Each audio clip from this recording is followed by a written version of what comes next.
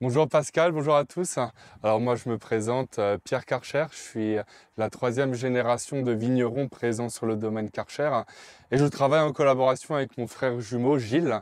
Euh, Gilles qui s'occupe principalement des vignes, de la cave, de toute la partie vinification. Moi je m'occupe de toute la partie euh, commerce, que ce soit pour les restaurants, les cavistes ou bien l'export. Salut, du coup je m'appelle Gilles Karcher, je suis vigneron au domaine Karcher à Colmar. Euh, domaine en bio depuis euh, le millésime 2021. Euh, l'été a été un été quand même assez chaud comparé à 2021 où il a fait très, on va dire très humide. Cette année a été une année particulièrement chaude. On a eu de la chance. La semaine dernière, on a eu un petit peu de pluie qui a permis de sauver la récolte, de faire gonfler un petit peu les grappes, hein, ce qui a permis d'avoir plus de quantité. On a fait beaucoup, beaucoup de relevés une fois par semaine pour vraiment suivre euh, l'avancée euh, de, nos vignes. Et euh, avec cette pluie, les raisins ont gonflé, l'alcool, enfin l'alcool potentiel a, augmenté.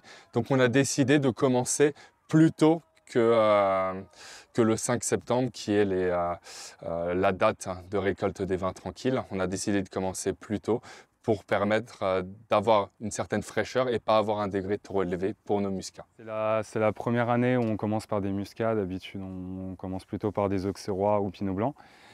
Euh, parce qu'on a, quand même très peu de récoltes finalement cette année. Donc, euh, avec le temps très sec, très chaud, les raisins ont très vite mûri. Et du coup, on les récolte un peu plus tôt pour garder un peu plus de fraîcheur, garder le fruit bien intact et aussi un peu d'acidité pour, euh, pour avoir vraiment une finesse dans le, dans le vin. Bah, il nous a manqué beaucoup d'eau. On avait un peu trop d'eau en 2021 et pas assez de soleil, et là c'est tout le contraire. Euh, en fait, la vigne, elle est un peu en stress hydrique depuis le mois de mai. Donc en fait, elle a poussé très très très lentement. On a démarré le millésime, on était en déficit hydrique. Euh, donc elle a poussé très lentement. on a eu quelques pluies bénéfiques en juillet et un peu en, août. Euh, donc c'est un, un, millésime assez particulier. Fallait beaucoup, enfin, j'ai trouvé qu'il fallait beaucoup observer la vigne, beaucoup la, essayer de la comprendre et surtout euh, essayer de la, toucher le, moins possible. Quoi. Elle s'était mise un peu en, pas en dormance, mais plutôt en, arrêt pour laisser, laisser les grosses chaleurs euh, passer. Et du coup, euh, c'était très compliqué. En fait, il, a fallu déjà régler un peu ce, problème de charge, donc peut-être partir sur un millésime avec un peu moins de volume pour justement euh, aider la vigne à passer ces, conditions climatiques assez extrêmes. Mais finalement, quand on regarde aujourd'hui la qualité des raisins, on voit qu'on s'en sort encore assez bien. Ça va être sûrement compliqué au niveau des, au niveau des acidités, au niveau des pH peut-être un peu trop élevés.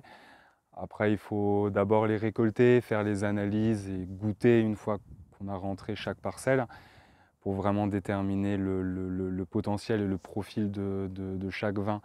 On va, je ne pense pas qu'on va partir sur un millésime frais. Là, on sera plutôt sur, certaines, sur des vins peut-être un peu plus concentrés avec euh, quand même une sucrosité assez, importante. Après, c'est à déterminer en fonction de la, date de vendange. Et puis euh, nous, on a des parcelles qui sont peut-être un peu plus en avance et d'autres qui sont un peu plus en retard. Donc à voir si on ne peut pas faire un mariage pour euh, ramener un peu de fraîcheur sur certaines parcelles et un peu plus de complexité, d'ampleur sur d'autres. Alors là, il y a plein de nouveautés. Alors malheureusement, je ne vais pas pouvoir tout vous dire parce qu'il y a encore des surprises. Ce sera à vous de venir pour les, pour déguster dès qu'elles seront sorties.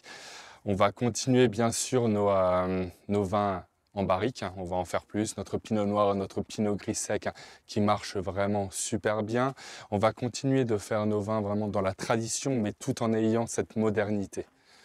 Euh, y a bien sûr d'autres nouveautés qui vont arriver, mais ça, ce sera dans un prochain épisode, comme on dit.